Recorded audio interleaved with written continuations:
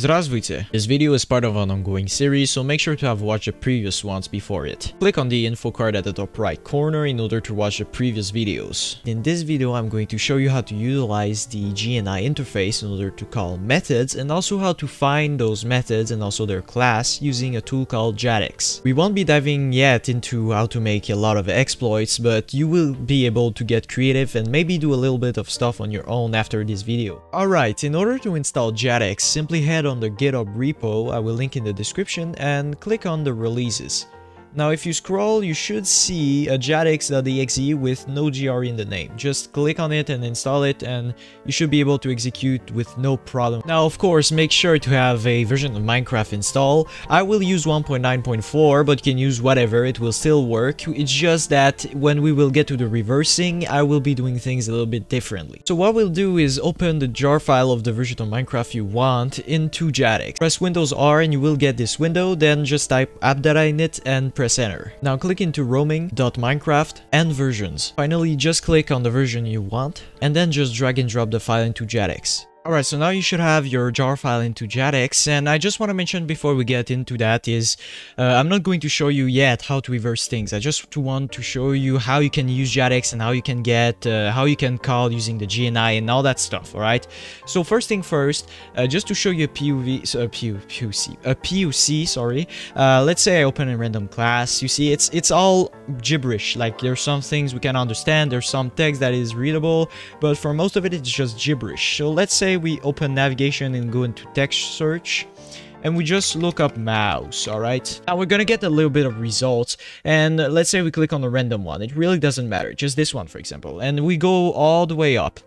Now there's a thing Java uses, uh, this one. And so if we look up this class, we get something like this, uh, which describes us everything this class has, every method it has. And one method we're interested in uh, is the get button down. Yeah, something like this.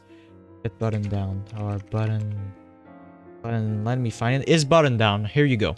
So is button down takes as an argument the an integer which is the uh, button index we could say um, or button id and returns a boolean if yes or no it is being pressed. All right?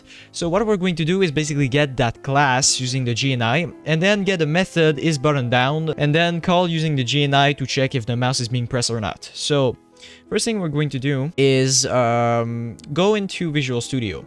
Alright, now there's one thing I want to clarify is in my past video I was passing a second argument here eh, which was a struct with uh, some description that you don't need to pass. Just pass a null pointer, it will deduce what JNI version it is using and stuff like this by itself. Otherwise it's version dependent and it's, it's gonna crash your game when you call uh, methods using the JNI. Alright, so what we're going to do is uh, is first use our JNI interface and uh, call, um, sorry, uh, get class, uh, get, get, uh, no, no, find class, yeah, find class, all right. Uh, this is going to return a J class, and the name of the class will be this. Now replace the dots by slashes, and that should get uh, the mouse class. So what we're going to do is is get the J class. So let's just call it mouse class. All right, and now, if mouse class is... We're going to check if it's null pointer. Or... Not really null pointer. If it's zero, then we will just printf uh, fail to get mouse class. Something like this. And just free library if, if it's doing so, or um, just do a message box. You know, just be creative. Um, zero, and just... Per uh, check console right and mb uh, icon error. All right.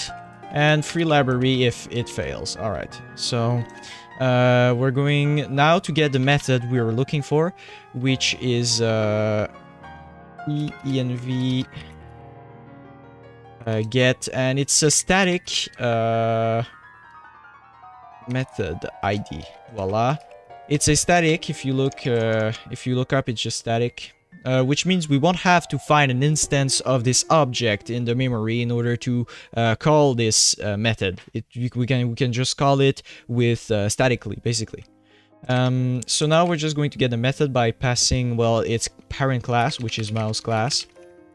and uh, the name, which is is button down, this one.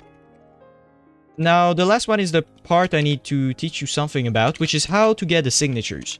Because you need to provide the signature for every single method. It's pretty obvious because um, things like um, um, operator overloading and stuff like this. So in order to uh, make a, a signature, uh, here we have an example. We have a, a string do this and with an int argument. It becomes this signature. It looks pretty uh, scary at first, but it's really simple. The first part of it is the arguments. It's The arguments are wrapped in uh, parentheses, and the last part of it is just the return type. Now, if I'm going to decode this for you, so let's say uh, I add a parameter here, which is a double uh, var1, all right?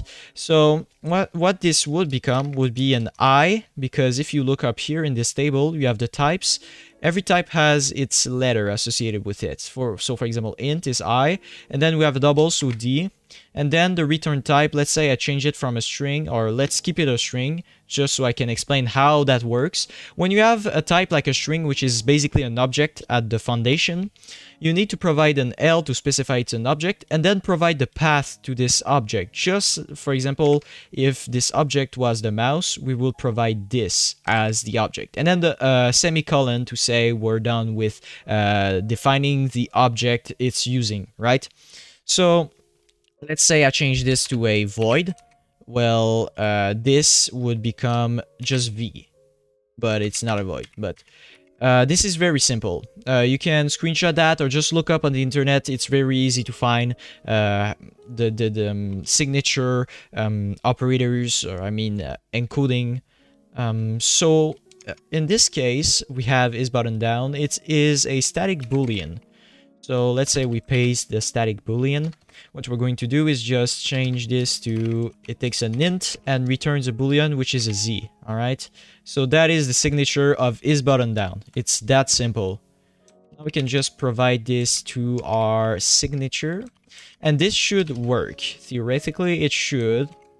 And we're going to check if it's null. Uh, so, of course, we need to get um, j method id uh, and it's uh, is button down ID. Right. If uh,